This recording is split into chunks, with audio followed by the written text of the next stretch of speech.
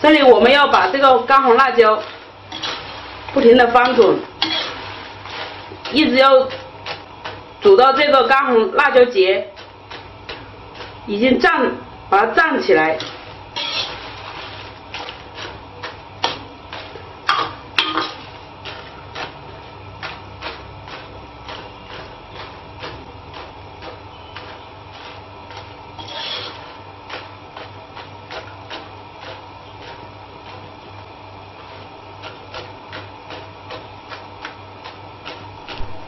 完整视频教程联系：微信七零三六五五四幺九，七零三六五五四幺九。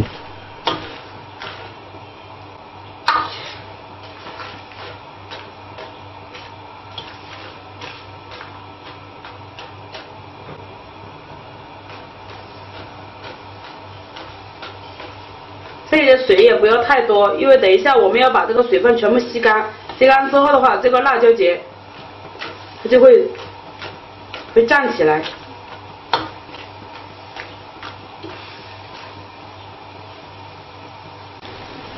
好，现在我们这个辣椒的话已经慢慢在站起来了，煮胀了。但是我们一定要把这个水水分吸干。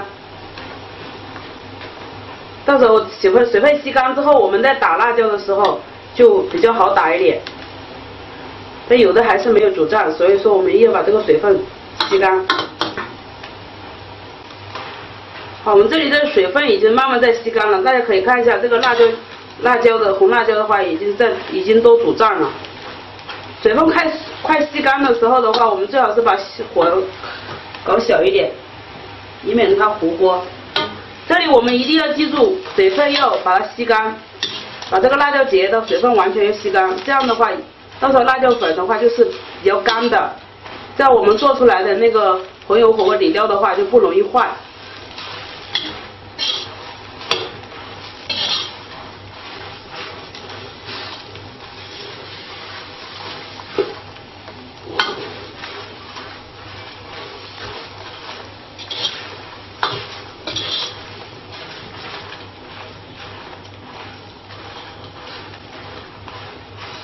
大家可以看一下，这个水分完全吸干之后，这个辣椒已经全部都是煮胀的。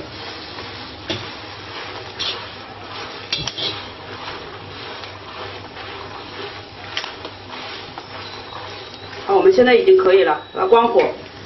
关火之后，我们放入料理机里面把它打成糍粑辣椒。好，我们现在开始来炒制火锅红油底料。先把锅烧红。完整视频教程联系：微信七零三六五五四幺九，七零三六五五四幺九。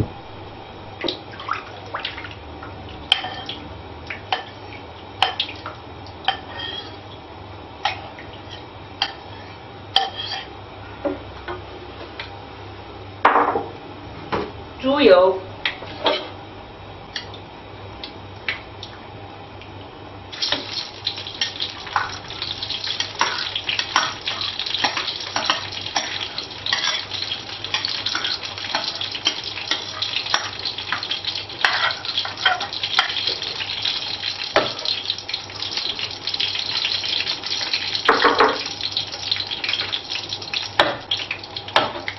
把它熬化。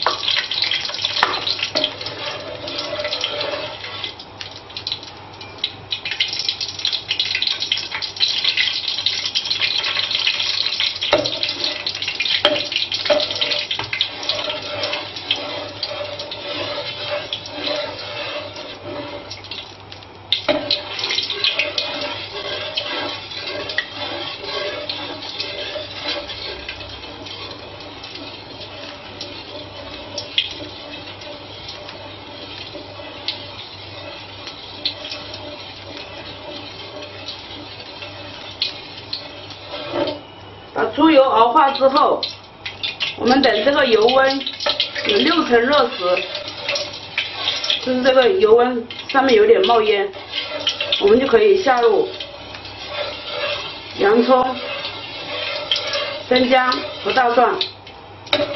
好，这个油温已经上来了，我们先把生姜、大蒜。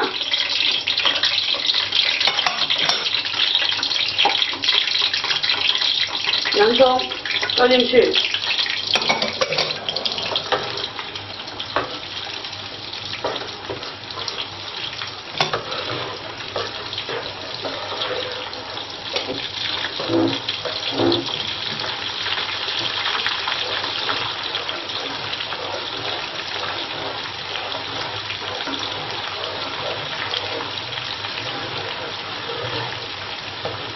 把这些要熬到。金黄色，把这个香味充分的熬出来。